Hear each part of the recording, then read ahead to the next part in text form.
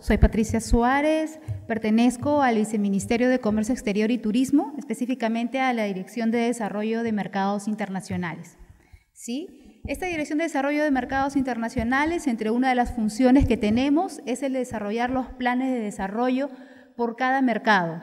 Y estos planes se realizan con las oficinas comerciales en el exterior. ¿Ustedes han escuchado de las oficinas comerciales, las OSEX?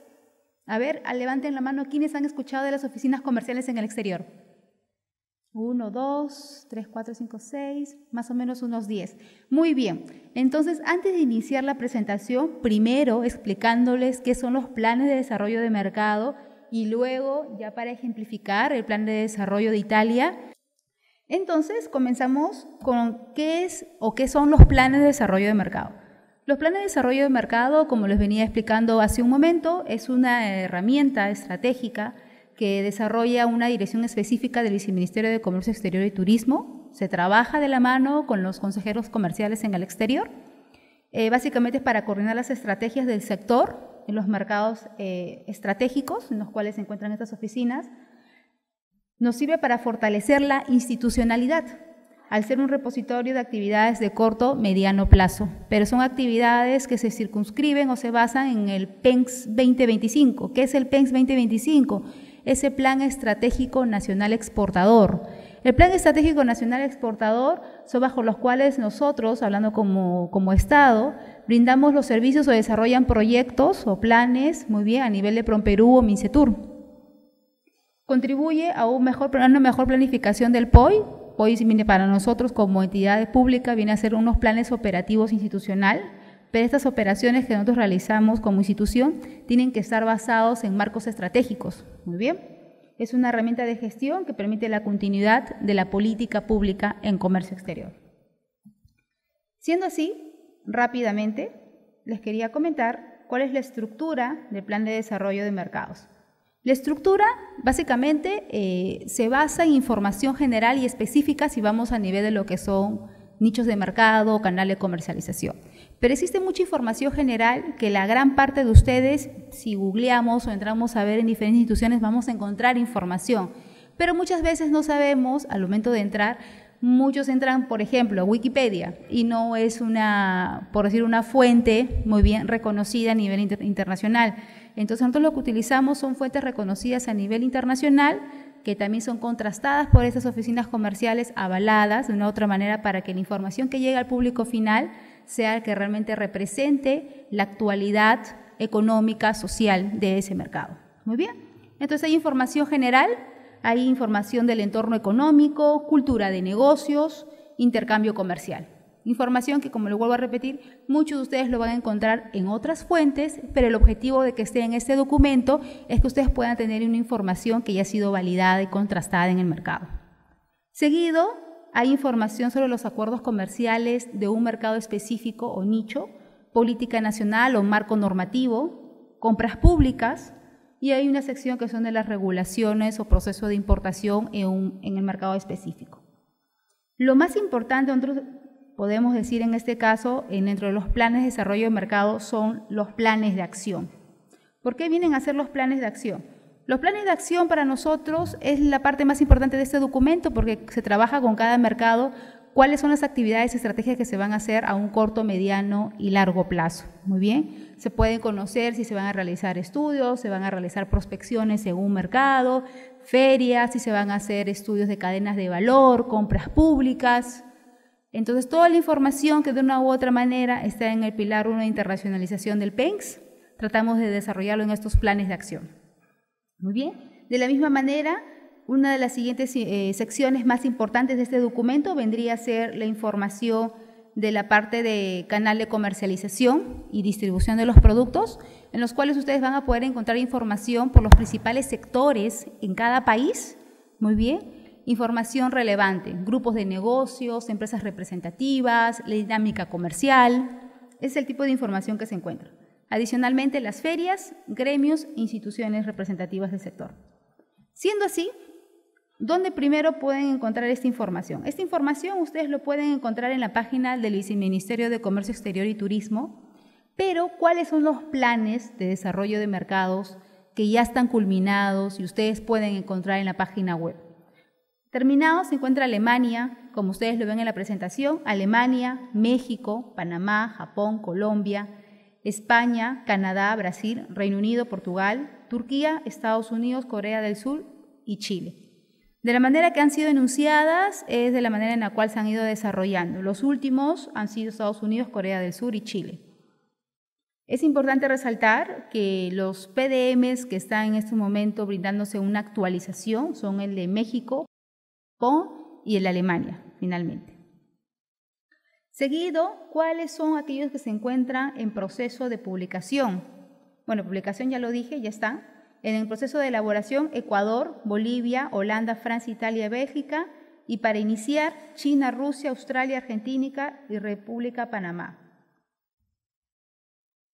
Como le digo, ¿dónde pueden encontrarlo? En la página web de Mincetur. Entramos a la página web de Mincetur, tres veces www.mincetur.gov.pe, es la página del, Ministerio de Comercio Exterior y Turismo.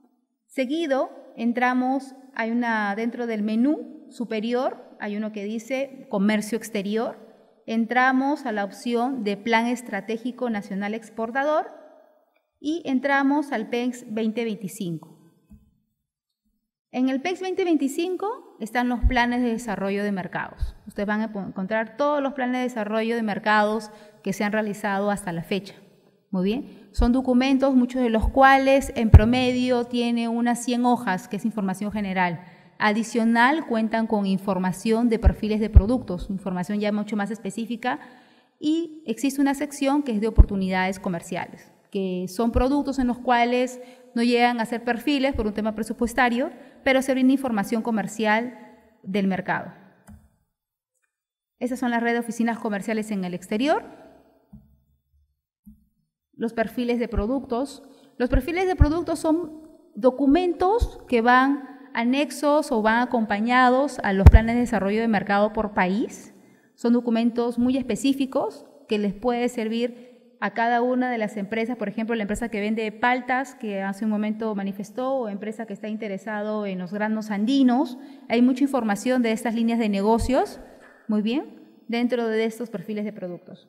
¿Qué información van a poder encontrar? Van a encontrar el tamaño de mercado. Es muy importante cuando las empresas piensan exportar en el exterior, conocer el tamaño de mercado, porque en el tamaño de mercado se identifica cuánto se produce en ese país, de ese producto específico, cuánto se importa y cuánto se exporta. Muy bien. Y con eso se puede encontrar el tamaño de mercado aproximadamente y ver si realmente existe o no una demanda de nuestro producto.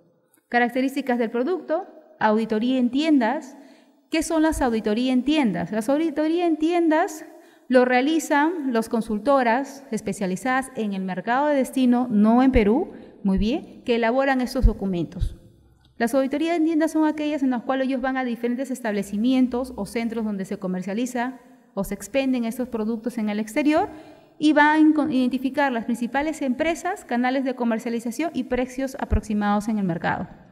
¿Para qué me sirve a mí conocer esta información? Porque ya identificando cada una de estas empresas, instituciones que quieren esos productos, muy bien, yo puedo también identificar quién es la demanda, cómo fluye la demanda en el exterior, precios, presentaciones. Condiciones de acceso al mercado, siempre van a poder encontrar esa información porque es importante conocer la normativa o el reglamento que se requiere cumplir para poder ingresar estos productos en el exterior. Canales de comercialización y distribución, lo que les venía explicando. Ahora ya se desarrolla esta información en los perfiles ya de una manera mucho más precisa. Muy bien, se explican los canales de distribución y comercialización del producto. Y cadenas globales de valor. ¿A qué nos referimos nosotros en los perfiles de productos con las cadenas globales de valor? A ver, levanten la mano quienes han escuchado de las cadenas globales de valor. Uno. Muy bien. ¿Por qué nosotros hacemos énfasis ahora en los estudios o perfiles de productos que desarrollamos el poder identificar las cadenas globales de valor?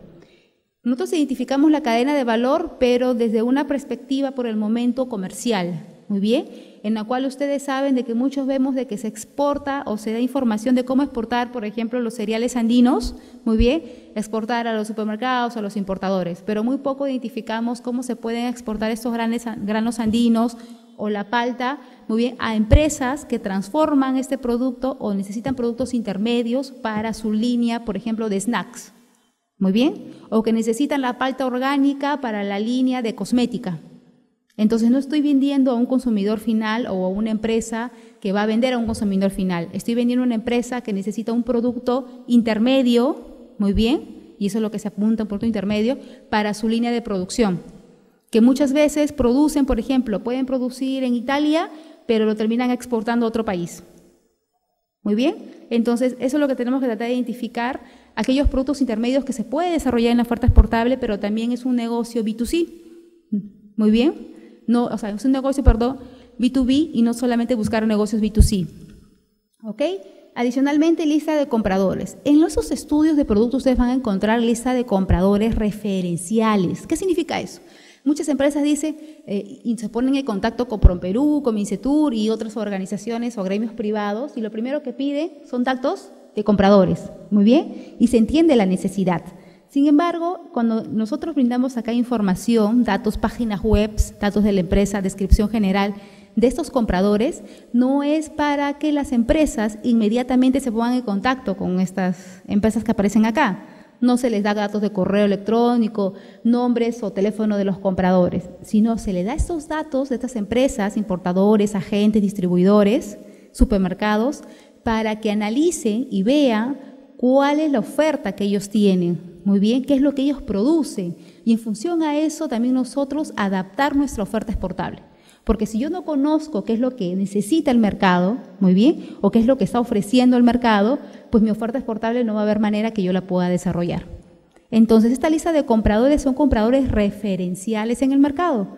¿A qué me refiero referenciales? Por lo que lo acabo de sustentar, adicionalmente puede ser un comprador muy espectacular en el mercado, puede ser el primero en importar granos andinos, por dar un ejemplo, muy bien, pero quizás no me va a comprar a mí. Pero el que no me compra a mí no significa que lo que él está desarrollando el mercado no lo necesite. Quizás otro tipo de nicho de mercado, otro tipo de empresa sí lo vaya a requerir, porque yo ya sé a nivel de contexto de mercado qué es lo que necesita. ¿Me dejo entender? Hasta el momento tenemos alguna consulta.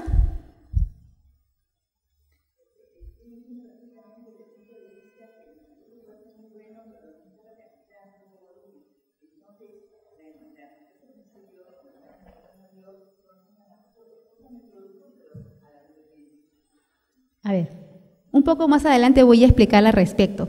Dentro de una de las recomendaciones que tenemos en uno de los sectores, por ejemplo en el caso de alimentos, es que muchas de las empresas muchas veces se frustran porque al momento de brindar su oferta exportable les comienzan a adquirir pero en cantidades muy pequeñas y dicen, mira, lo que me está demandando, muy bien, es casi irrisorio, o menos del costo, entonces no me favorece el poder exportarla. Pero si analizan a la empresa, muchos dicen, oye, pero la empresa es una empresa reconocida en el mercado, es buena, requiere el producto, ¿y por qué me compra tan poco? Y me viene comprando tan poco durante dos años. Y hay esos casos.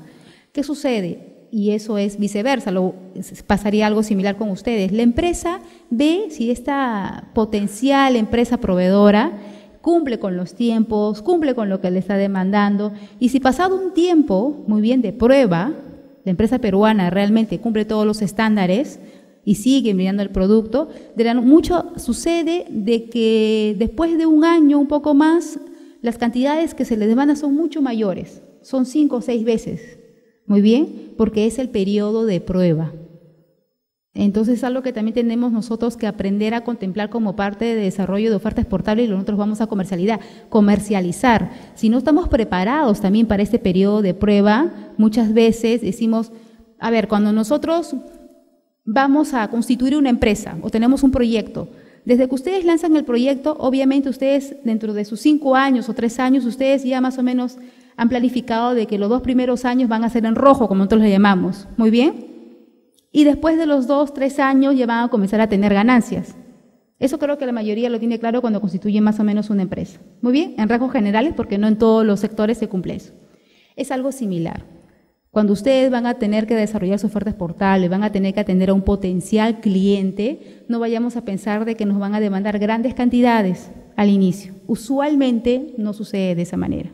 Muy bien. Adicionalmente de información tenemos las ferias. En todos los estudios y también en cada una de las secciones o sectores del PDM se brinda información de las ferias en ese mercado específico o ferias dentro de la región de Europa, por citar un ejemplo, que son importantes, tanto a nivel agro, alimentos, manufacturas y servicios. Muy bien, que es importante que las empresas lo conozcan, no solamente para que lo visiten, ¿no? que es una primera fase, sino para que también puedan hurgar y encontrar mayor información. Oficinas y gremios y links de interés. Siendo así, acá hay un ejemplo del PDM Brasil, perfiles de producto. Esta es la presentación que se tiene del PDM. Actualmente, ¿cuántos perfiles de bienes y servicios tenemos? Tenemos 213. Si ustedes ingresan a la página web de Mincetur, pueden ustedes acceder a 213 estudios especializados por producto. Y ustedes se preguntarán, ¿y cómo hago para ingresar ahí? Ya les expliqué hace un momento, ingresando a la página web de web de Mincetur, entran al PENS 2025, hay una opción que dice PDMs y están por mercados. Cada uno de los estudios ustedes lo pueden encontrar por mercados. En el caso de Norteamérica tenemos 35, en este caso tenemos Europa 92, Asia 27, Centroamérica 9 y, y América del Sur 50. Como ustedes pueden observar, tenemos una gran demanda de perfiles, en este caso, tanto en Europa como en América del Sur. América del Sur, de una u otra manera, porque las empresas que usualmente nacen, al primero que piensan comercializar es a su vecino, y el vecino es el mercado latinoamericano. Muy bien. Entonces, el mercado de, de Chile, el mercado de Ecuador, el mercado de Colombia, el mercado de, podemos nosotros apreciar también hasta el de México. Estructura de la sección de oportunidades de los PDMs. Los PDMs, como les mencionaban, tienen una sección que son oportunidades de productos. Y ustedes se preguntarán qué diferencia hay entre los perfiles de productos y las oportunidades. La diferencia es solamente a nivel, se puede decir, de ejecución y presupuesto. Muy bien, a nosotros nos encantaría brindar al público y a todas las empresas pues 20 estudios especializados o 30 por país, pero presupuestariamente no es posible. Siempre los recursos son limitados. Entonces, de esa manera nosotros identificamos los 10 principales productos o bienes, mejor dicho, y servicios que cada mercado puede requerir. Y después de eso, obviamente, existen otros bienes y servicios que también son importantes. Entonces, se desarrollan los mismos en una sección especializada que se llama oportunidades de mercados en los PDMs. El objetivo, conocer los principales productos identificados con potencial de ingreso a mediano plazo, de la misma manera o similar en el caso de los estudios, pero de una manera mucho más sucinta y escueta, se brinda el tamaño de mercado, regiones con mayor demanda, competencia. De la misma manera se brindan necesarios del desarrollo de servicios de mercado en destino, se brinda la información de los proveedores, empresas demandantes en el mercado de destino y comercialización. En este caso, ¿cuántas o cuántas oportunidades comerciales se han identificado en todos los PDMs. Hasta el momento tenemos identificado 156 oportunidades de productos. Muy bien. ¿Dónde tenemos identificado más? Tenemos en Norteamérica, seguido por Europa, ah, perdón, seguido por América del Sur, Europa, Asia y Centroamérica. Básicamente también se da por el hecho de que actualmente tenemos, muy bien, más eh, PDMs en América del Sur. Los planes de acción, lo que les venía explicando. Estos planes de acción, ustedes van a ver, esta es la estructura del PEX 2025, que cuenta con pilares, líneas de acción y proyecto, y las metas que les venía hablando, que es a mediano, corto y largo plazo. En ese sentido, quería también explicarles lo siguiente. Esta es la página web, esta es la página web de Mincetur, muy bien. En la página web de Mincetur, ustedes googleando directamente pueden entrar al Plan Estratégico Nacional Exportador 2025. Y ustedes pueden entrar acá de frente, hacen un clic en el Plan Estratégico Nacional Exportador. Muy bien, este es el PENS. ¿Quiénes de ustedes han visto o han escuchado de este PENS? Levanten la mano. Muy bien. Una consulta rapidísima. ¿Para qué creen ustedes que el PENS es de importancia para el sector privado? ¿En qué les puede servir?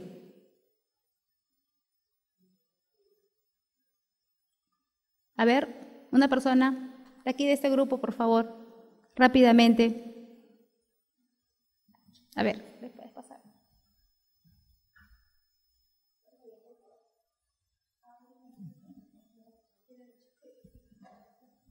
Rápidamente, ¿para qué creen que es útil el conocer el PENS?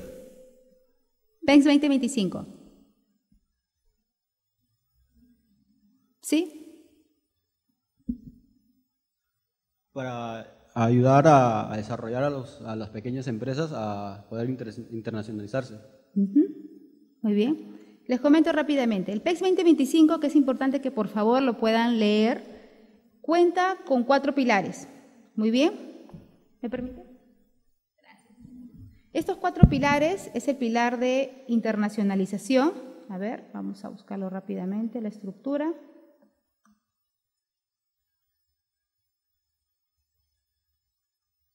Ya, acá está.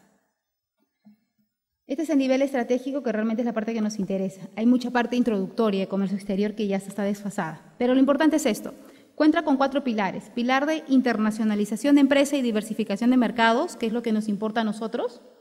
Oferta exportable diversificada, competitiva y sostenible, que es lo que también viene desarrollando PROMPERÚ y el Ministerio de Comercio Exterior. Muy bien, el desarrollar la oferta exportable Facilitación de comercio exterior, eficiencia de la cadena logística internacional, generación de capacidades para la internacionalización y consolidación de una cultura exportadora, que eso es lo que se trabaja con las universidades también. Muy bien. Entonces, esos cuatro pilares es muy importante porque en función a ellos las empresas van a buscar los servicios dentro del sector público, llámese PROMPERÚ o llámese MINCETUR. Muy bien, y también de las universidades. Si yo tengo un producto, tengo que desarrollar la oferta exportable muy bien, que esté adecuada al mercado y también al marco de eso tengo que buscar la internacionalización. ¿Okay? Este es un ejemplo, muy bien, que no lo van a poder leer, pero es de un plan de acción del mercado de Brasil y solamente del pilar de internacionalización. O sea, acá están todos los programas en el marco del PENS y acá están cómo se desarrollan cada una de las actividades y las instituciones que están comprometidas. ¿Muy bien? Hasta el momento, ¿tienen alguna consulta con respecto al PDM como general, como instrumento, como herramienta estratégica, previo a pasar a explicar el, PDM Italia?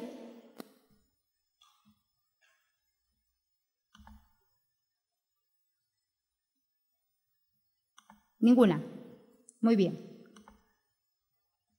En este momento entonces voy a presentar el plan de desarrollo de mercado de Italia. Como ustedes saben, Italia es un mercado que está compuesto por 60 millones de personas aproximadamente, muy bien.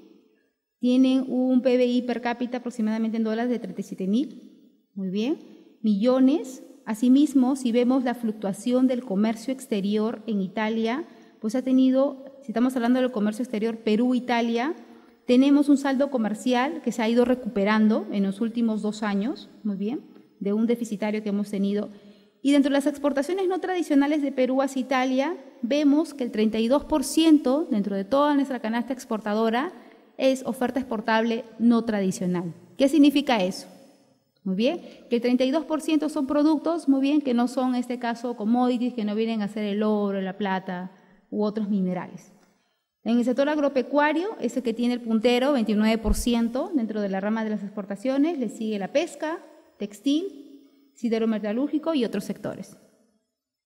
¿Qué es lo que podemos nosotros rescatar de Italia?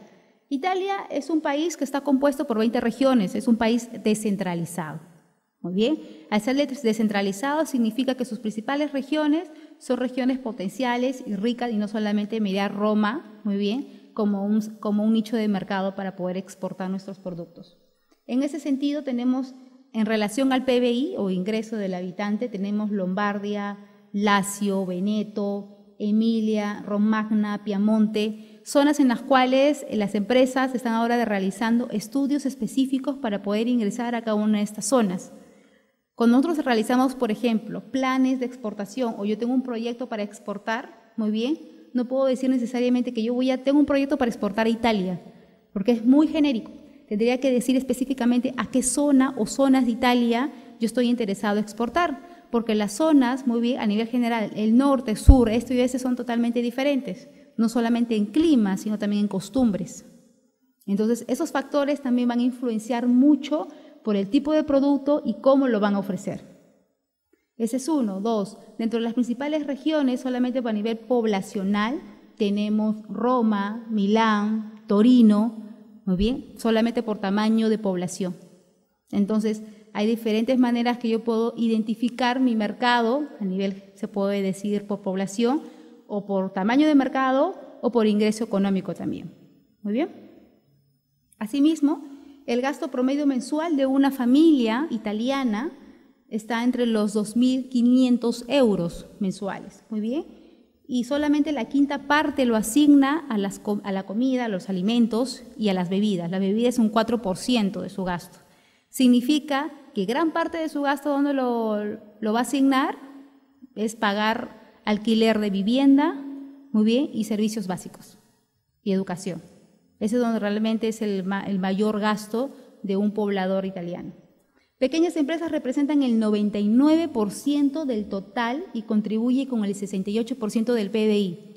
¿Qué idea les da esto al identificar que el 99% de las empresas italianas son pequeñas? Significa que esas empresas pequeñas, muy bien, si yo estoy interesado en exportar y lo que hablábamos de las cadenas de valor, muy bien, esas empresas podrían estar interesadas en adquirir mi producto, muy bien, porque sabemos que son pequeñas o medianas y no me van a demandar cantidades, se puede decir, tan grandes, muy bien, que yo pueda decir que no puedo abastecer. Entonces, este es un nicho de mercado muy interesante porque las empresas italianas usualmente son empresas familiares. Otro punto, piano industrial 4.0. El gobierno italiano ha lanzado, muy bien, como parte de su política, se llama piano industrial 4.0. Significa que todas las empresas italianas, muy bien, tienen que estar ahora ligadas a esta nueva generación de la tecnología, la nanotecnología, desde las empresas que van a ofertar, en este caso, las prendas, prendas deportivas, prendas que ya tienen ahora un alto contenido tecnológico, muy bien. Ahora estamos hablando a nivel de alimentos, de la misma manera. Entonces, el gobierno italiano no prioriza productos o sectores, como política de gobierno estoy hablando, no prioriza productos o sectores muy bien, lo que prioriza es el desarrollo de zonas, de zonas comerciales industriales. ¿Qué significa eso? Significa que por un por, por ejemplo, Arequipa, ¿no? En Arequipa no voy a priorizar si es la alpaca, si es eh, en este caso el sector agro. Lo que yo voy a priorizar es brindarle todos los servicios en Arequipa y voy a brindarle todos los servicios de tecnología para que se desarrollen los clústeres industriales. Muy bien. Esa es la política del gobierno. ¿Por qué tiene esta política de gobierno y no prioriza por producto o sector? Porque si nos damos cuenta, el 99% de las empresas son pequeñas. Entonces significa que el gobierno busca una sinergia entre todas las empresas para desarrollar su oferta exportable y desarrollar su oferta también para la demanda del mercado interno. ¿Sí? Por eso es muy importante conocer que Italia es un promotor y protector de las denominaciones de origen. Aproximadamente cuentan con 850 denominaciones de origen, por no decir un poco más. ¿Qué significa esto? Que dentro de las denominaciones de origen es como si dijéramos el pisco, muy bien, y nadie puede utilizar el pisco de la misma manera. Muchos productos que salen de ellos por zonas geográficas, muy bien, ellos lo, luchan mucho por el tema de las denominaciones de origen. Por eso mismo que también el consumidor italiano, muy bien, basado en una encuesta que ha realizado una consultora italiana para la OSEX Milán, que se llama la consultora no, misma, muy bien. Esta consultora resalta existe un gran apego del consumidor italiano por consumir productos made in Italia, hechos en Italia. Entonces ustedes se preguntarán, si hay una gran demanda por consumir productos hechos en Italia, ¿Cómo yo voy a exportar el producto peruano? ¿No? Ahí está el objetivo, el ingresar nuevamente a las cadenas de valor. Porque el hecho de, por ejemplo, poder exportar un producto final, muy bien, de alimentos en Italia, no digo que es imposible, obviamente no, pero es un poco más difícil. Pero quizás pueda yo exportar un producto intermedio que sirva como parte de la cadena productiva. Entonces siempre es bueno conocer las políticas de gobierno, conocer una otra manera el comportamiento del consumidor, muy bien, que me va a permitir realmente saber qué y cómo voy a ofrecer mi oferta exportable. En promedio, el poblador o dentro de la demografía, muy bien, eh, gran parte de la población está entre los 55 a 65 años. Es una población que ya es una población adulta, muy bien, de tercera edad, muchos de ellos. Entonces, esta población están buscando qué? Estilos de vida saludable, muy bien, en todas las ramas, a nivel de los productos de manufacturas y también de alimentos. ¿Qué más puedo encontrar en el PDM de Italia? En el PDM de Italia, rápidamente esta información, van a encontrar información con respecto a las vías marítimas y aéreas, cuánto tiempo toman poder llegar a Italia, cuáles son las navieras que en este servicio, las empresas de carga aérea. Y ustedes también pueden ingresar a un servicio que lo tienen a través de PromPerú, que son rutas marítimas y rutas aéreas de PromPerú. Muy bien. También van a poder ingresar a lo que son los requerimientos o condiciones de acceso al mercado, cuáles son los acuerdos comerciales con los que cuenta Italia, claro está, en el marco de la Unión Europea. Bien. Cultura de negocios. Dentro de la cultura de negocios sí quiero resaltar acá algo muy importante. La cultura de negocios de Italia es muy particular, porque para poder ingresar a negociar eh, y tener éxito con un comprador italiano, lo que se recomienda es poder identificar una contraparte o un conocido que me presente a este potencial comprador italiano. Es un tema cultural, para generar los lazos de confianza. Muy bien. Asimismo, el poder también de una u otra manera tener mucho cuidado con el tema de la puntualidad, a pesar de que los italianos, no quiero decir que sean tardones, pero no son tan cumplidos con el tema de los tiempos, pues valoran mucho la puntualidad. Muy bien. Las comunicaciones en italiano, en la medida de lo posible. Después que tú tengas una reunión o una pretensión de reunión, formalizarlo por correo electrónico en italiano. Tener la reunión en italiano. Muy bien. Eso no significa que ellos no sepan hablar inglés, saben hablar inglés y muchos de ellos también el español, por ser dentro del habla hispana, muy bien, pero es importante la gran importancia que ellos le dan al idioma italiano desde la comunicación escrita. Asimismo, si ustedes pretenden tener una reunión de negocios, tiene que ser como mínimo tres semanas antes. Entonces, hay empresas peruanas que están viajando, hacen una visión, prospección a Europa y dicen, me voy a ir a Italia y comienzan a sacarle cita al comprador italiano en la misma semana que están o van a viajar a Europa, las dos semanas. Entonces, uno, de que va a ser casi imposible de que les den una cita. Dos, de que realmente como imagen de empresa quedamos mal, muy bien, porque es una cita improvisada. Y tres, y lo vuelvo a recalcar, tratar de hacer las agendas comerciales con la debida anticipación. Como mínimo para el mercado italiano, muy bien, podría ser tres semanas, como mínimo y eso considerando de que ha habido una sinergia o una coordinación previa. Muy bien, ahora pasamos a explicar dentro de lo que es el análisis comercial, información que eso también lo van a poder encontrar en el PDM, el sector agroalimentario. El sector agroalimentario, algo a destacar, el sector contribuye muy bien con el 4.1% del PBI de Italia, ¿sí? ¿Y esto qué viene a ser? Más o menos yendo a lo que es su análisis de la Unión Europea, es el 15% del PBI del sector agro dentro de lo que es la Unión Europea. ¿Sí? Es bastante, es muy fuerte.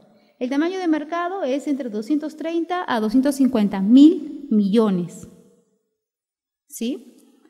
Canales de distribución son los canales que usualmente se dan en Alemania, se dan en España, Italia. Son importadores, fabricantes de alimentos, supermercados, retail especializado y mercados tradicionales y el Oreca. Muy bien. Las tendencias de mercado. Crece la rama ready to eat. Ustedes ya han escuchado, ¿no? Los alimentos que están listos para el consumo, ya preparados.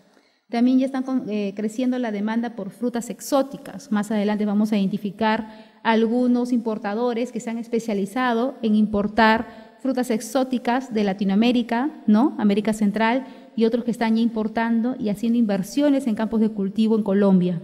Muy bien, pero es un fondo, o mejor dicho, son inversiones italianas.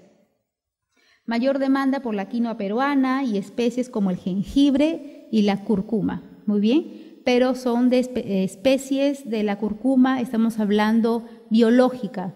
En Italia lo denominan al orgánico biológico. Muy bien. Creciente consumo de jugos a base de superfoods y gran interés por las categorías étnicas. Cemento de mercado, muy bien, específicamente Milán, Roma, Torino, Verona, Vicenza, que son básicamente por el tema del tamaño de mercado. Es una segmentación.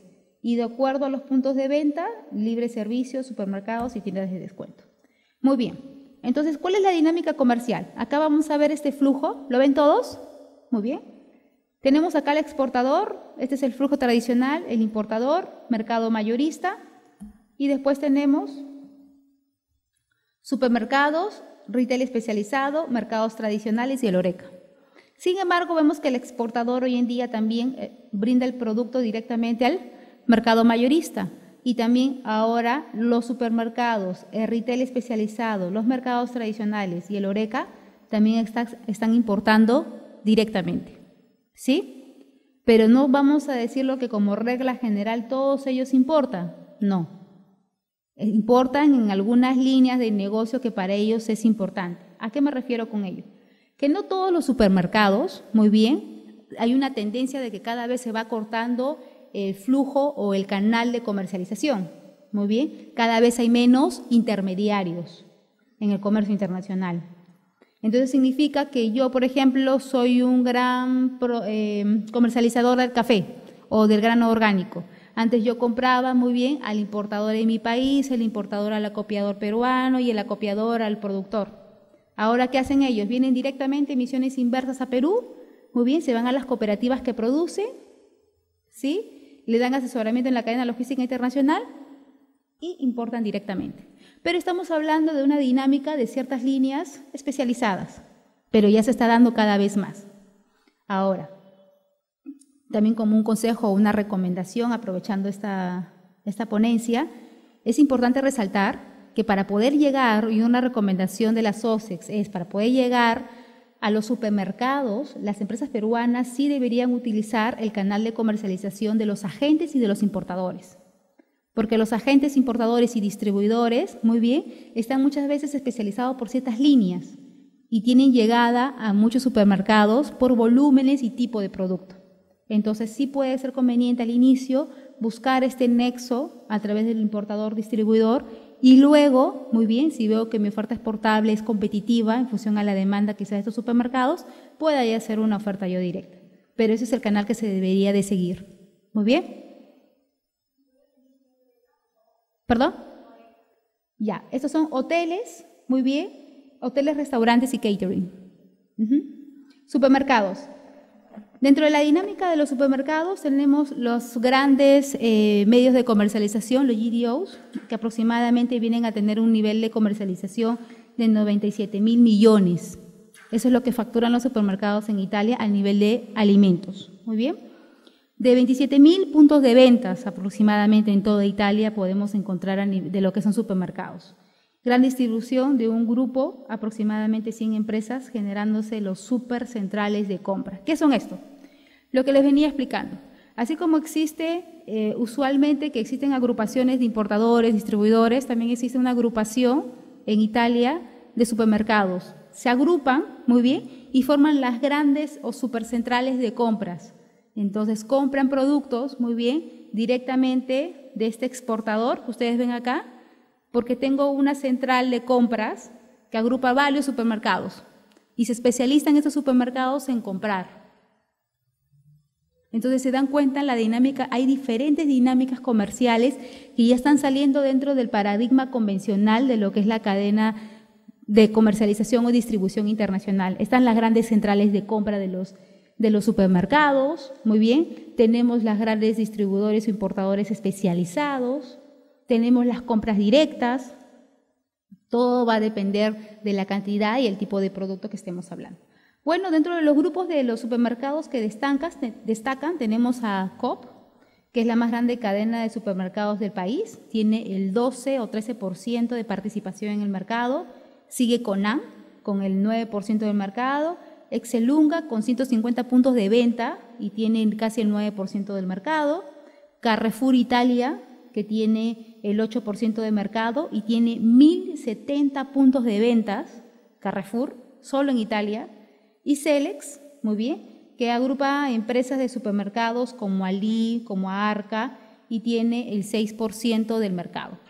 Celex representa estas grandes supercentrales de compra, o sea, agrupa varios supermercados, muy bien, y también realiza la logística de importación a nivel comercial. Hasta ahí la dinámica de lo que vienen a hacer los supermercados, muy bien. Grandes supermercados, supermercados que se agrupan muy bien en uno solo para formar las grandes centrales de compras, los supermercados especializados y los grandes supermercados mayoristas, como viene a ser en este caso Carrefour Italia. Seguido tenemos los mercados agroalimentarios mayoristas. Estos grandes eh, mercados agroalimentarios mayoristas muy bien, se caracterizan básicamente por la comercialización de frutas, verduras y pescados. Compran de manera desconcentrada y de otras empresas especializadas por producto. ¿Qué significa esto? Que estos grandes supermercados, eh, perdón, mercados agroalimentarios mayoristas también se especializan. Muy bien. ¿Y qué significa esto? Son, no digo que es un símil, pero por ejemplo, nosotros acá en Perú podemos tener, nosotros le llamamos la parada. Muy bien y en la parada también se hacen grandes importaciones mayoristas. Muy bien, porque lamentablemente sí es un mercado que está atomizado y hay empresas formales e informales, pero en este negocio, dentro de los mercados mayoristas, muy bien, nosotros tenemos acá grandes mercados en Italia donde todos están legalmente constituidos. Muy bien, es una figura un poco civil. Tenemos acá la asociación Italmercati. La asociación Italmercati por ejemplo, es una asociación de mercados mayoristas. Eh, esta agrupación lo que hace es comprar de manera conjunta líneas de productos especializadas. ¿Sí? Entonces, también una recomendación que hace la OCES Milán es si las empresas del sector agro, por ejemplo, la empresa del señor de Palta o las empresas que están interesadas en exportar granos andinos, muy bien, lo ideal sería de que también se puedan colocar o poner en contacto con esta asociación Italmercati, que representa muchos mercados agroalimentarios. ¿Sí? Aproximadamente ellos están comercializando como cuatro, en visitas nada más tienen como 400, 400 eh, millones de visitas al año, que es bastante. Dentro de los importadores, ya hemos hablado de los supermercados, de los mercados agroalimentarios mayoristas, tenemos a los importadores. Los importadores, ¿sí? También se vienen especializando y ahora vemos productos por productos hidrobiológicos, se, pues, se especializan a través de lo que son productos como la banana, la piña. Muy bien, por ejemplo, en el caso de Fratelli Orsero, es una importadora que ya posee centros de producción en Costa Rica y Colombia. ¿Qué significa esto? Es una importadora, muy bien, que muy aparte de realizar solamente la, importación, ha hecho inversiones en campos de cultivo en estas zonas, en productos como la piña u otros que son de su interés. Entonces está retrocediendo en la cadena de comercialización, perdón, de distribución. Fratelli Orsero es uno de los más grandes distribuidores también de banana, eh, de piñas, perdón, que es USA, China, Argentina, Egipto, Etiopía, teniendo una división agrícola y otro por retail. Igual, ellos comercializan productos de orgánicos con o sin gluten. Agentes, perdón, dentro de los agentes de comercio profesional están asociados a la FENARC. FENARC es una asociación, muy bien, o un conjunto de agentes de, de comercio que no solamente es para alimentos, también la FENAR agrupa los diferentes sectores o líneas, tanto de alimentos, tanto de también indumentaria. Ahora, ¿para qué a mí me serviría contar con un agente? Eso dependiendo. Existen muchas empresas que ya son exportadores, muy bien, de ciertas líneas de productos, pero quizás sí necesiten un agente de representación para una zona geográfica o para ciertos tipos de productos. Entonces, ¿Cómo puedo encontrar yo un agente en Italia, muy bien, en el cual yo pueda tener confianza? Existe esta asociación. Esta asociación, muy bien, me puede brindar la información de cuáles son los agentes por especialidad, por zona geográfica y por tipo de producto. Muy bien, pasamos a los alimentos orgánicos. Los alimentos orgánicos como les mencionaba en un inicio, son denominados biológicos en Italia. Entonces, cuando ustedes van a hacer su búsqueda de información y quieren encontrar información especializada, no van a encontrar en Italia la denominación orgánico como tal, sino biológico. Muy bien, es un símil. En este caso, ¿cuánto viene a ser el consumo? Viene a ser 3 mil millones. Actualmente hay 3 mil millones de euros en consumo de productos orgánicos. Las exportaciones de Italia de alimentos orgánicos ha sido muy bien aproximadamente de 2 mil millones, que esto representa, hay una dimensión de mercado de 5 mil millones actualmente, es el tamaño de mercado de productos orgánicos en Italia. Muy bien, entre el 2015 y el 2016 han aumentado un 14%. Es uno de los sectores que viene creciendo de manera exponencial, más de, más de dos dígitos. O sea, usualmente casi todos los sectores están creciendo en 8, están creciendo algunos en 4, pero los productos orgánicos están creciendo entre 12 y 14%. En los últimos tres años, las categorías con mayor crecimiento han sido los veganos, seguido por eh, la, cuarta gama, que son los ready to eat, que habíamos conversado hace un momento. Muy bien. ¿Cuáles son los canales de distribución? Son iguales o similares a los productos de agroalimentos. Muy bien. Con la diferencia de que acá sí está mucho más acentuado la comercialización en las cadenas especializadas, obviamente de productos biológicos. La tendencia de mercado es que más del 70% de los italianos prefieren alimentos biológicos de origen local. Es lo que les venía diciendo, ¿no? El, estar tan interiorizado, el hecho, el famoso made in Italy, ¿no? Entonces, ¿qué es lo primero que busca un consumidor italiano que si van a comprar un producto orgánico tiene que decir hecho en Italia?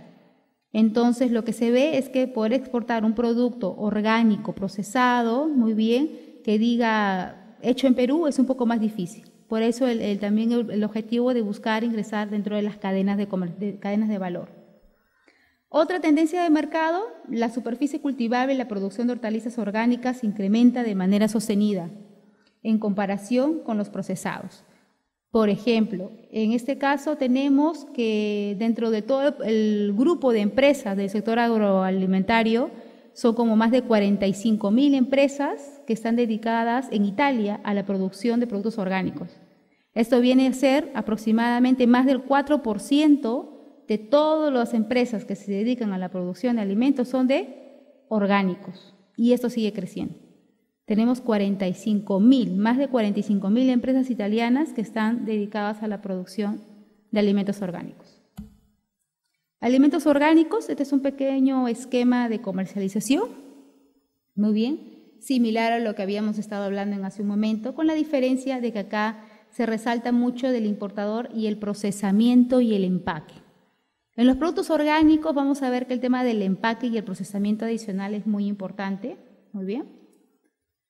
¿Cuáles son los principales canales de comercialización? Los supermercados representan el 37% seguido por los negocios especializados o las cadenas bio, 30%. Los negocios tradicionales, muy bien, que también se venden o se expenden productos orgánicos o biológicos, 8%, los food service, 12% y otros canales, 13%. Entonces, el hecho de los productos orgánicos lo podemos encontrar en casi todos los canales. Los supermercados, para aquellos que estén interesados en las líneas orgánicas, muy bien, acá les voy a dejar una lista de empresas, tanto de supermercados y de importadores, para que ustedes puedan entrar a cada una de sus páginas web. Muy bien. Está Resalta Group, Natura Sí y Biobotega en supermercados. Y en importadores destaca Alcenero y Verde Bio. Pasamos ahora, o bueno, antes de pasar al sector moda y confecciones, muy bien. Si tienen alguna consulta, alguna empresa con respecto al sector de, al sector de alimentos orgánicos y agroalimentario, ¿tienen alguna consulta?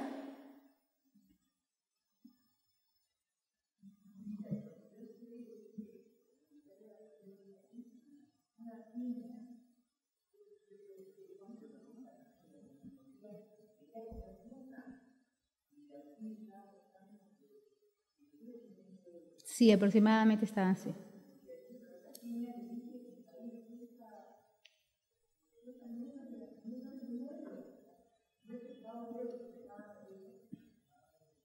Sí. También depende de la cadena de comercialización. Sí. Sí, tenemos una pregunta del chat online que ha llegado un poco tarde, que nos habla en este caso sobre el rubro de joyería. Nos indica, de los PDM y sus oportunidades comerciales, ¿cómo sería en el caso de joyería de plata 950 peruana que yo les ofrezco a ellos? Así especifica la pregunta. ¿Cómo? ¿Puedes volver a repetir, por favor? En el caso de joyería.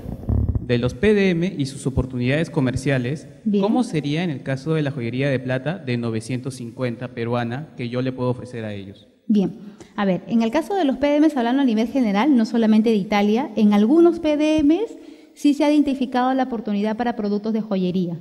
En algunos, por ejemplo, en el PDM de Canadá, en el PDM de Italia se cita muy bien, a grandes rasgos, eso va a depender del, país. Por ejemplo, en el caso de Italia, y solamente para puntualizar, sí existe una gran demanda de joyería en los mercados, como en este caso Italia o en la Alemania, y en el caso de Italia tienen una normativa especial, que todo producto, ¿sí? que está compuesto por, por materia, en este caso sea plata, sea oro un compuesto valioso, debe, debe de cumplir una normativa específica, debe de contar primero una autorización, la empresa que importa, la empresa exportadora también debe de acuñar el tipo de plata que se está exportando, también debe tener otro permiso, la empresa importadora italiana debe de sacar una licencia o un permiso en una comisaría especial, o sea, la trazabilidad y la exigencia en el mercado italiano para los productos de plata es muy exigente.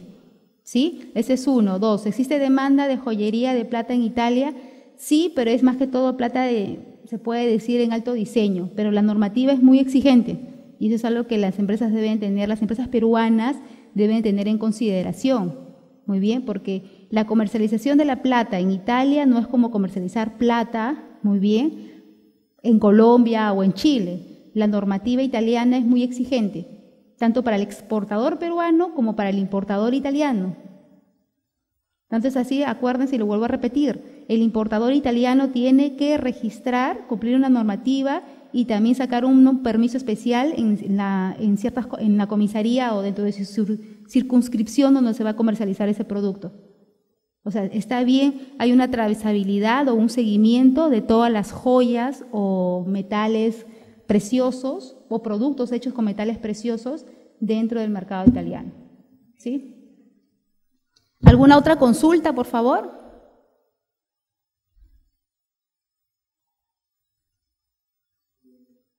Eh, una, consulta. eh, ¿qué, tan, vi- eh, qué, tan factible sería exportar un servicio gastronómico a Italia? No le escucho bien. ¿Qué tan factible sería? Es- exportar una franquicia, eh, gas- una franquicia gastronómica a, a Italia, a, a través de un servicio, claro. ¿Qué, tal, fra- ¿Qué tan factible sería exportar una franquicia gastronómica? claro. Muy bien. La factibilidad existe a grandes rasgos, pero eso depende de muchos factores. A ver, por ejemplo, si uno va a realizar un estudio de franquicia, o sea, se hizo el análisis y se demanda por el alimento peruano y por el tema de las franquicias, pero para poder identificar y poder localizarse localizar una franquicia depende también del lugar, muy bien, depende del sitio. Es como cuando vas a colocar un restaurante acá en Perú, similar. O sea, el mercado peruano también ya, tiene, ya llegó a otro nivel, a nivel de lo que son establecimientos para, para expender alimentos. Muy bien. Entonces, algo similar también puede decirte en el caso de Italia. Tú colocas un restaurante, una franquicia, en un lugar o en una esquina que no es, ya perdiste el negocio. Entonces, para eso previamente existen estudios específicos. Hay empresas que te hacen análisis para poder localizar las franquicias en ciertos lugares. Muy bien, va a depender del concepto de negocio, el tipo de comida, el lugar en Italia donde vas a poder colocar la franquicia. Muy bien, depende de muchos factores. Pero para eso, la normativa, sí existe una, una normativa que apoya para el establecimiento de franquicias. Existen estudios para el establecimiento de franquicias gastronómicas también, eso es cierto.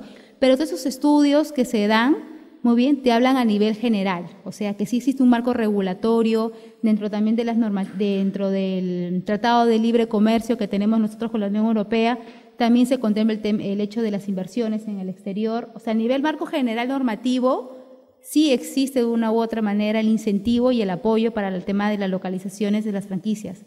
Pero si llevamos a un tema mucho más específico, sí se tiene que hacer un estudio. Muy bien, el estudio tiene que ser muy al detalle, porque tienes que también identificar el, hecho de cuáles son tus gastos fijos, tus gastos variables, en el lugar donde estás estableciendo. Muy bien. ¿Alguna consulta adicional?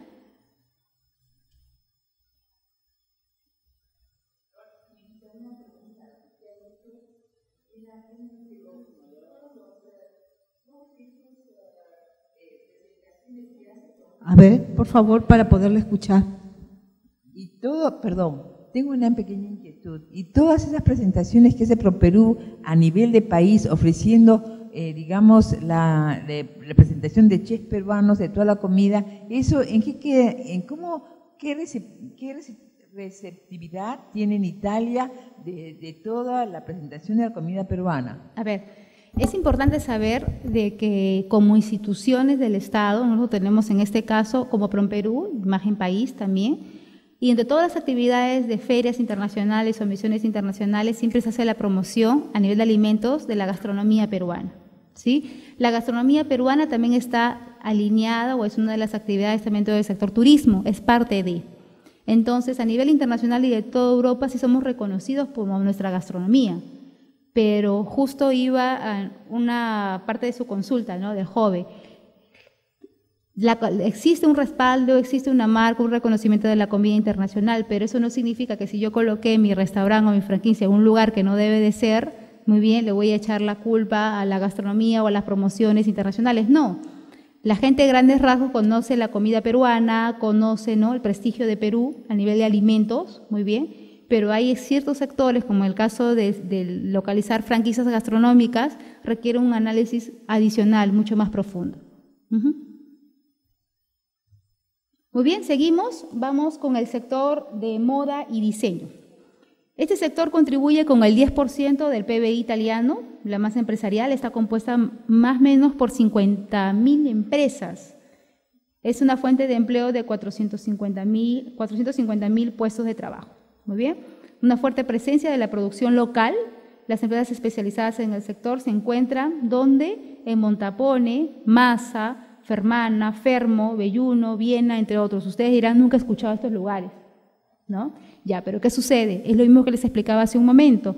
Como un barco de la política, del gobierno, muy bien, ellos no se especializan como el gobierno a nivel de financiamiento por un producto o líneas de productos, sino por desarrollar zonas, zonas comerciales, muy bien.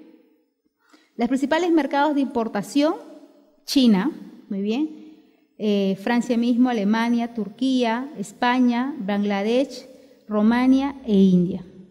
Es un gran importador de fibras y tejidos de alpaca, así como prendas de algodón y tejidos planos. Por ejemplo, nosotros exportamos grandes cantidades de hilos de alpaca, ¿no? Y ustedes dirán, ¿y por qué no exportamos las alpacas ya acabadas? Muy bien, también es un tema de oferta y demanda del mercado, ¿no? Tenemos dos empresas que son a nivel nacional, que son las que se encargan de ofertar los hilados de alpaca, muy bien, de una u otra manera no tenemos más empresas que hagan hilados de alpaca. Las empresas locales mismas también se abastecen de los hilados de alpaca de estas dos empresas peruanas que están localizadas en Arequipa. Y existe una alta demanda por los hilados de alpaca a nivel internacional. Ustedes saben que en Italia hacen las combinaciones de los hilados de alpaca, o sea, no es alpaca 100% alpaca, quizás uno u otro pero usualmente es alpaca al 90-80% y el otro porcentaje es con otro, con otro tipo de hilado. Muy bien. ¿Y por qué se exporta a China estos hilados y por qué se exporta a Italia? Porque son los mercados que tienen mayor demanda internacional. Muy bien, Italia por la marca y China porque ya ahí sí el porcentaje de alpaca es mucho menor, pero dice alpaca. Así tenga 5% de alpaca, pero dice alpaca.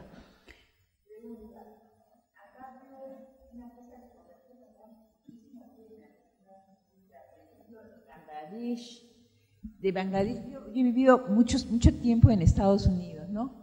Entonces, en, Estados Unidos, por ejemplo, el, eh, los uh, t-shirts de Bangladesh, o los polos de Bangladesh, hablando eh, bien, eh, prácticamente son polos de 3 dólares, de un dólar. En cambio, allá en Italia, 6%. Mi pregunta concreta es, ¿y qué pasa con el algodón peruano, el algodón pima, que es de primerísima calidad y ahí no lo veo? Y eso, ahí va mi explicación con respecto a los hilados. Italia es un mercado que importa, nosotros somos exportadores de prendas de alpaca, como también somos exportadores de hilados de alpaca. Entre los hilados de alpaca tenemos solo dos empresas, muy bien, que son las que proveen el hilado para exportar y a las empresas a nivel local. A las empresas a nivel local, en menos de dos años, sus costos para, adquirir esta materia prima han crecido en 15%. ¿Por qué? Porque obviamente hay una demanda en el exterior. Muy bien. Entonces, Italia también importa estilado para confeccionar sus productos con mayor porcentaje de alpaca y ponerle la marca. Y viceversa en, China, menor porcentaje de alpaca, pero igual también es otro nicho de mercado. A eso iba.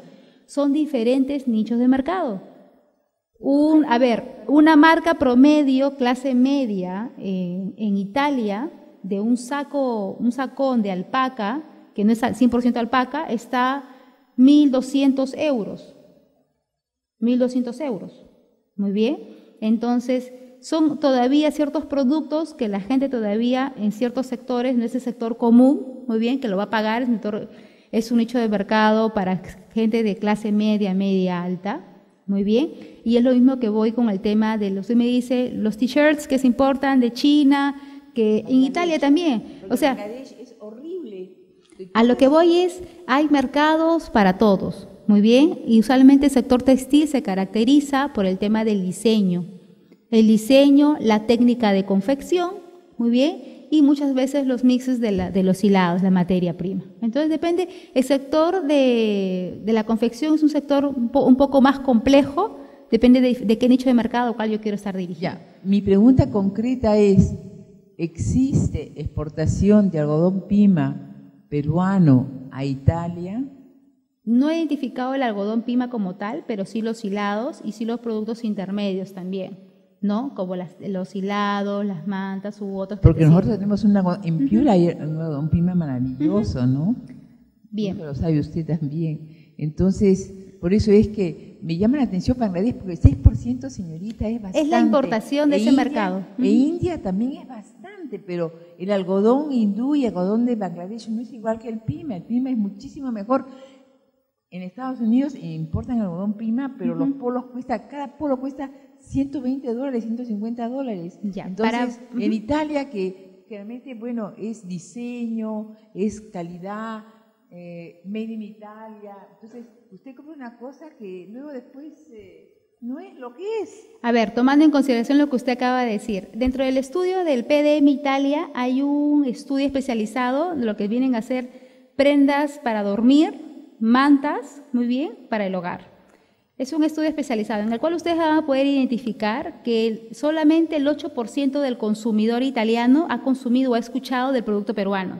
Muy bien, pero ese 8%, un 50 y tantos por ciento aproximadamente estaría dispuesto a adquirir, muy bien, ropa para dormir hecho en Perú. ¿Por qué? Por el tipo de algodón, por la técnica, pero es un nicho de mercado alto, alto. Significa que me van a pagar ciertas cantidades de dinero, pero no voy a poder exportar unas sumas grandes. Porque gran parte del mercado está acaparado muy bien por mucha oferta asiática, que es para un nicho de mercado bajo. Igual Italia produce, produce muy bien eh, prendas para dormir, mantas u otros artículos para cocina, produce, pero es para una gama intermedia. Entonces, lo que se ha identificado que la oferta exportable peruana, muy bien, podría ir a un nicho de mercado mucho un poco más alto, específicamente hablando, muy bien, cubrecamas u otros o prendas para dormir, hechos de algodón, muy bien, para un nicho mucho más exclusivo. Y ahí Claro. quiero darle respuesta a usted. Hay producción a nivel mundial para todo tipo de clientes. Claro, o sea bien. que en ese caso pienso, señorita, que el Perú estaría al- a una, digamos, a, una función de, de maquiladora, si es que vendría una compañía italiana acá a decir, porque como hay compañías francesas actualmente en el Perú que este, mandan todos sus eh, modelos acá con algodón peruano, lo hacen y, se- y sale, pero sale con la marca. Ahora, eh, otro punto, eh, en ese caso, en el caso que, como le digo, que es de Francia, en el caso de Italia, digamos, ¿cuánto sería el castigo si yo, por ejemplo, productora de, de algodón Pima, mando a Italia y todo va a salir bajo Made in Italia?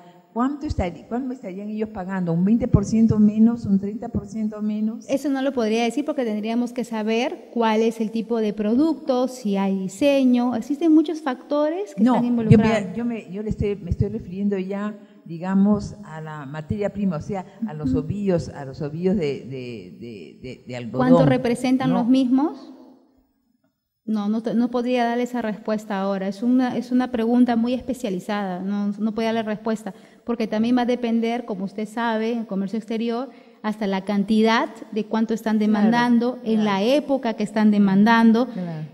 Influyen muchos factores para poder determinar un precio. Claro. Una cosa es enviar un- una cantidad específica en un momento, no sé, el primer trimestre del año, otra cosa a fin de año, ¿no? A Es igual la principio hay que demanda de prendas. con una cosa pequeña y ya después, bueno, Muy bien. de la aceptación. Muy bien, pasamos a explicar las tendencias del mercado. Muy bien, dentro del sector de la moda y diseño está muy, eh, muy demandando ahora productos inteligentes, más que todo para las prendas deportivas.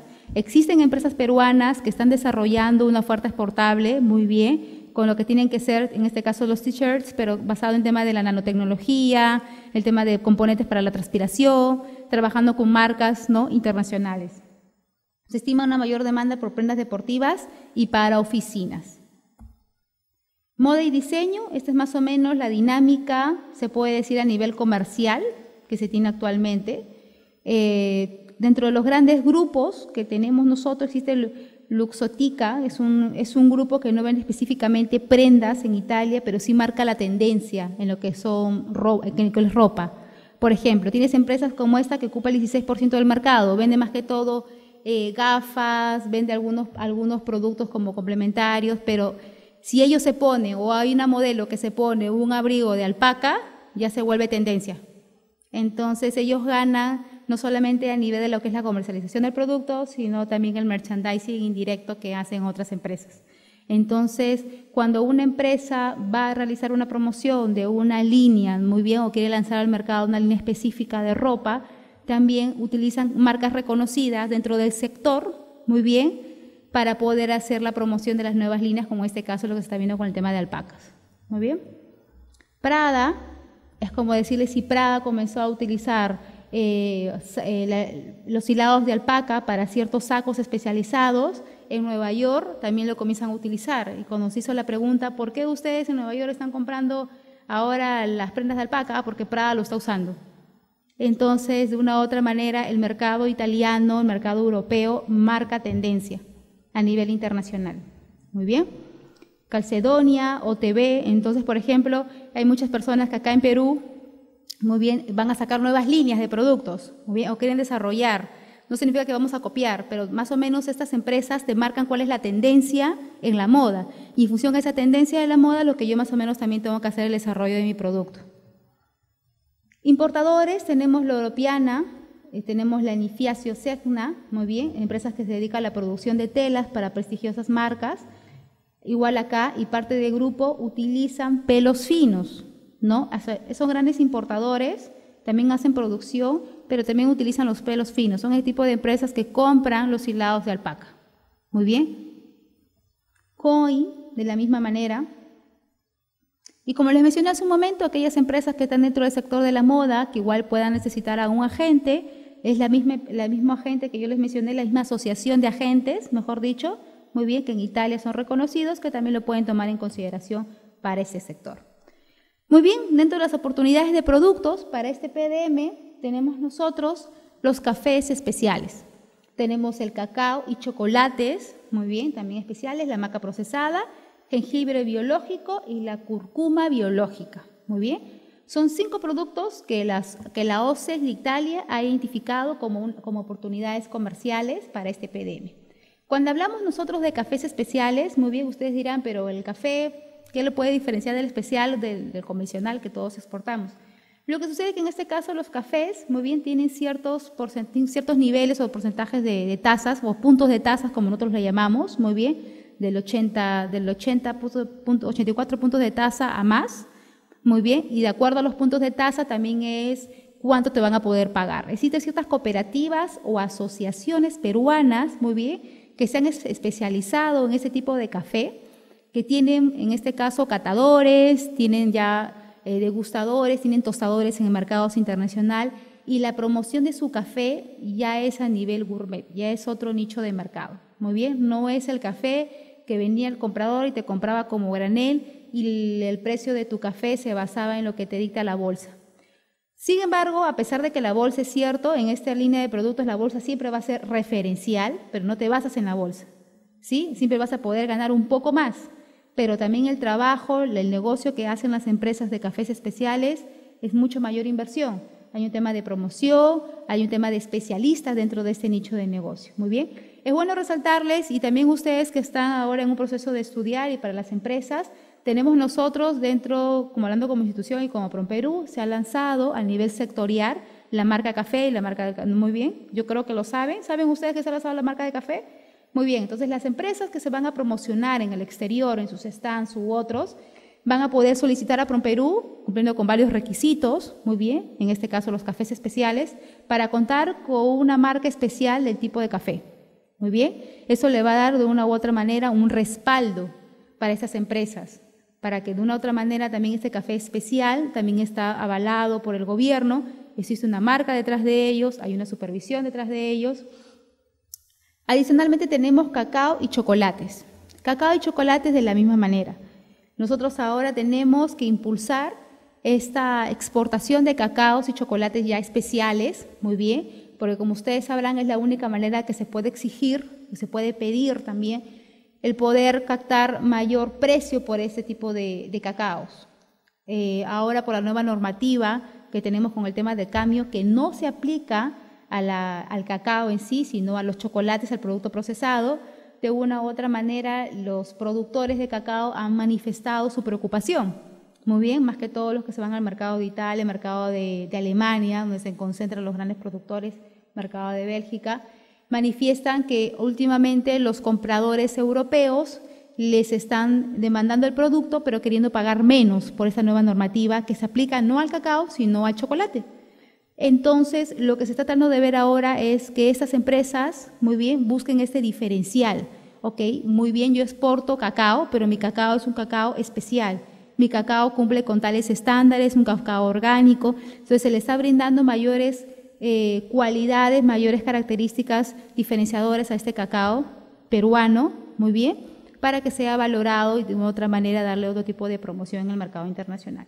De la misma manera, eh, ha sido también identificado la maca procesada, muy bien, para hacer diferentes tipos de, productos, desde que son energéticos hasta hablando de las cápsulas, muy bien, para la comercialización en el mercado italiano, y entrar con la maca procesada al a un canal, en este caso dentro de la cadena de comercialización o distribución de productos energéticos. No significa que nosotros vamos a exportar productos energéticos, vamos a exportar productos intermedios para esta industria que hace productos energéticos en Italia.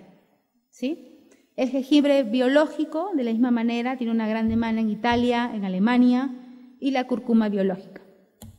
Muy bien. ¿Cuáles son los productos o perfiles especializados que ustedes van a poder encontrar en el PDM?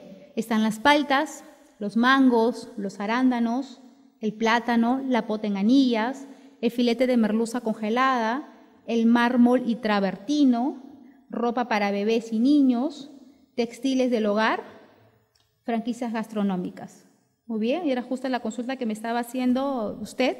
Muy bien, existe este estudio de franquicias gastronómicas, pero vuelvo por favor a ser enfática de que la información que está acá te contextualiza que el mercado es propicio, muy bien es potencial, pero el instalar una franquicia, muy bien, requiere información ya mucho más precisa porque se tiene que encontrar el tema de la localización, lugar específico, precios u otros factores que también pueden llegar, si no se identifica claramente, puede llevar al fracaso de la franquicia. Muy bien, si tuviesen alguna consulta, por favor.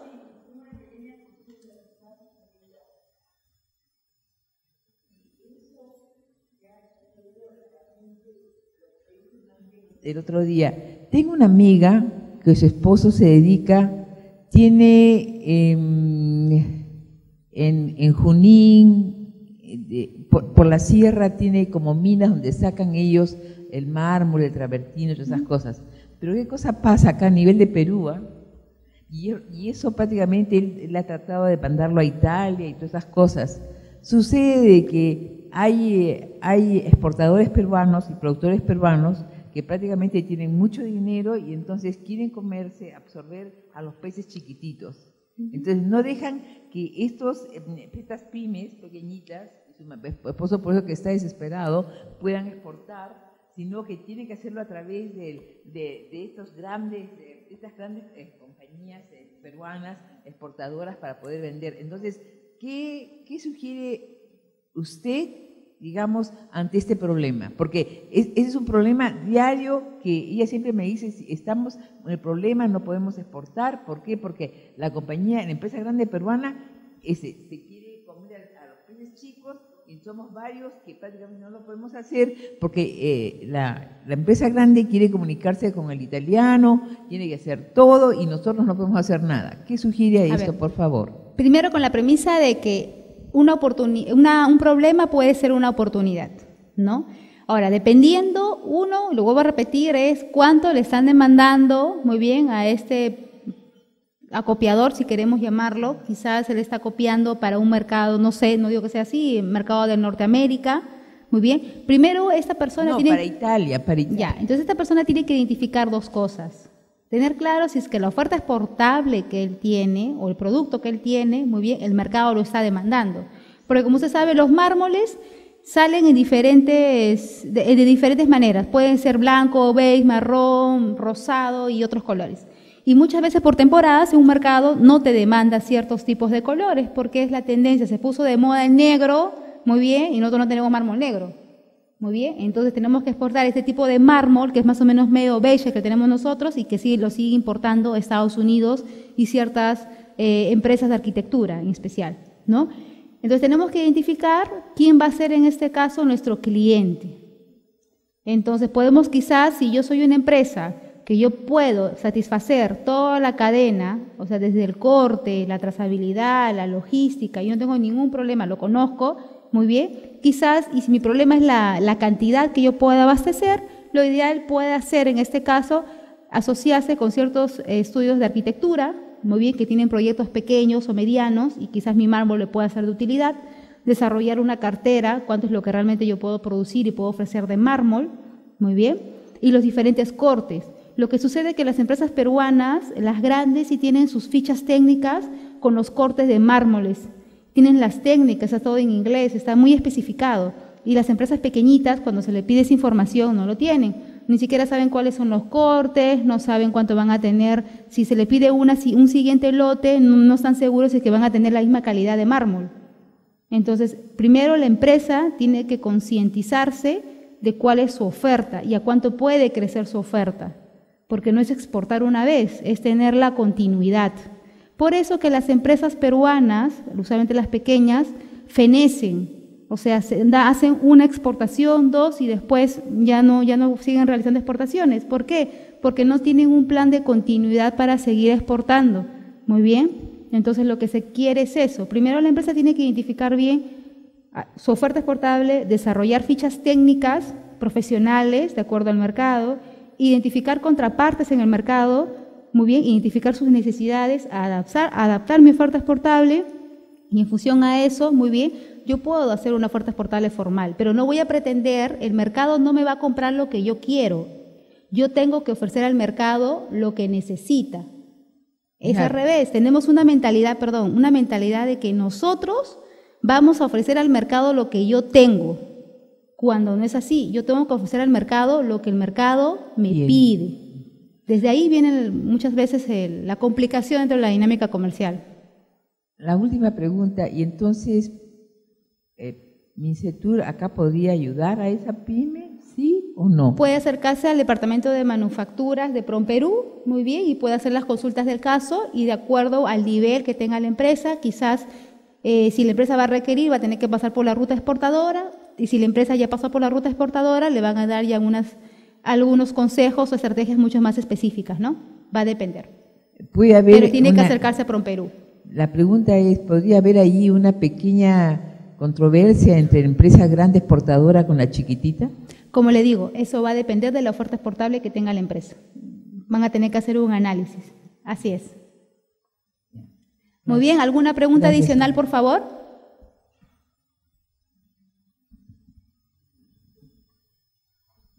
Patricia, este, eso de los cafés especiales también es para los cafés con sus derivados. De, ¿Se puede combinar otras cosas? Solamente café. Yo tengo entendido que eso es para los cafés eh, en grano.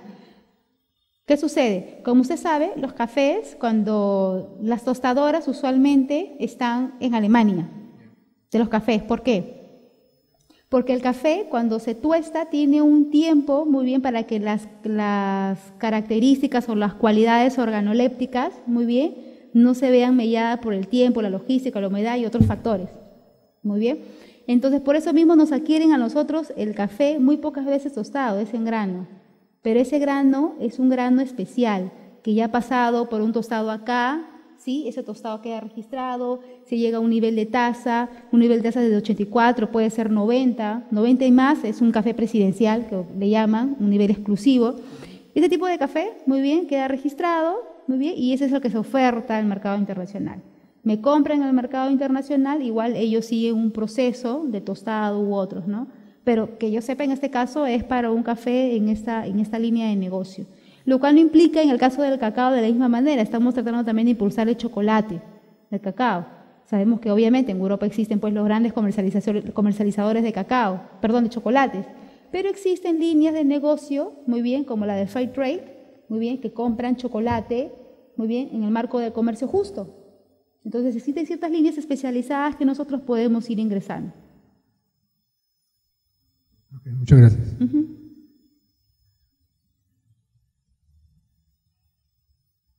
¿Alguna otra consulta, por favor? Alfonso. Perdón, con respecto a su consulta, le recomiendo que por favor se acerque al área de imagen país que queda en Promperú. En Promperú, que queda en es uno de los pisos, no me acuerdo si es el 13 del Ministerio de Comercio Exterior. Promperú, imagen, imagen país y le, usted pida cuáles son todos los requisitos, por favor, para poder acceder al uso de la marca sectorial del café. Entonces le van a, porque hay diferentes, o sea, dentro de la marca sectorial del café, dependiendo también del tipo de café, está dividido. Entonces, en función a eso, es bueno que usted sepa para que también adapte su oferta exportable si es que todavía le falta. Y poder también adquirir, en caso sea en caso corto o largo tiempo, esta marca sectorial porque es lo que finalmente va a respaldar a la empresa peruana. Ya, este, voy a ser muy, muy breve. Eh, dos, dos, preguntas. Eh, según, se han hecho estudios de mercado para exportar a Estados Unidos eh, en, en food trucks como servicio gastronómico. Entonces, ese es este, ese food truck que se exporta a Estados Unidos por su cultura que ellos mismos tienen, eh, sería, sería, bueno también exportar ¿es food truck allá a Italia o no, sería aceptado por, el tema de, por el tema de la cultura que tienen ellos? ¿Exportar cuál, disculpa? Eh, food truck, esos carritos que venden comida. En Estados Unidos hay, hay bastante y hay, hay, demanda de eso. Incluso se puede exportar con ese modelo de negocio.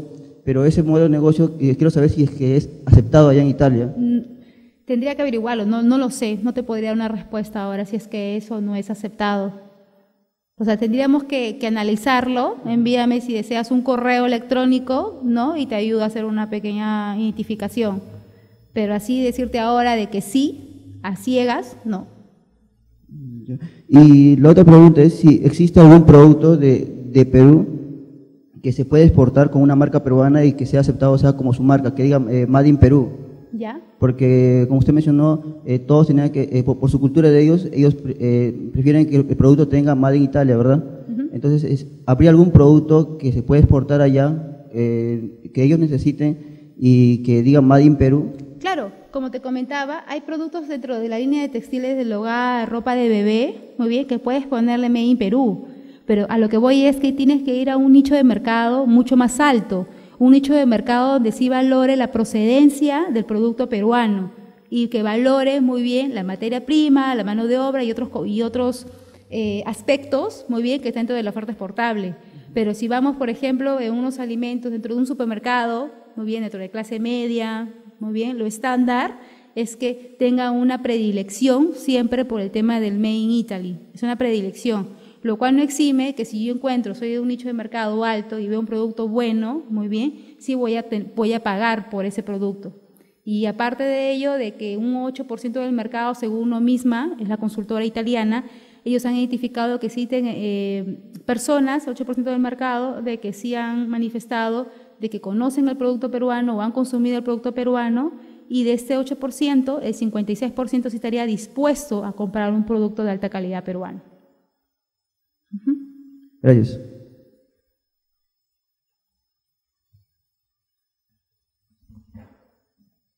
¿Sí? ¿Alguna otra consulta final?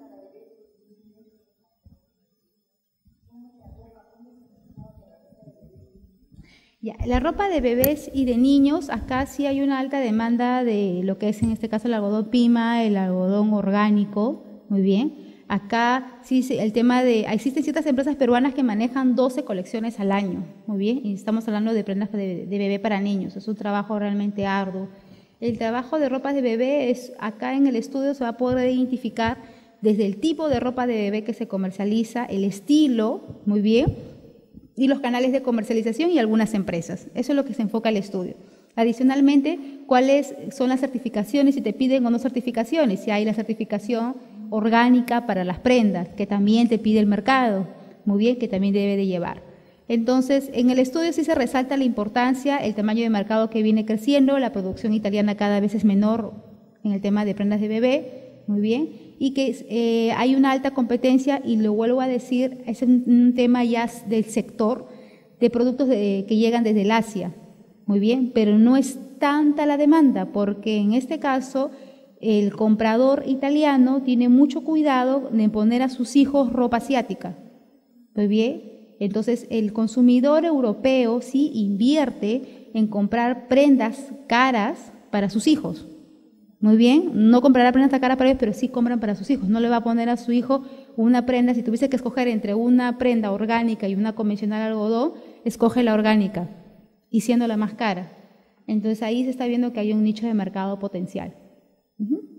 Muy bien, señores, muchas gracias. Les invito, por favor, que ingresen a la página web de Mincetur, ingresen a los PDMs, revisen, por favor, el PENS 2025. Ustedes van a poder encontrar ahí la importancia de todas las estrategias del Plan Estratégico Nacional Exportador, como el Estado, hablando con Promperú y Mincetur, se viene impulsando también al sector de servicios, es un sector también muy importante de que se puede explorar. Ustedes, como parte de estudiantes de comercio exterior, tienen también un, un, nicho de mercado, muy bien, donde también ustedes pueden laborar, que es el sector de servicios para la exportación.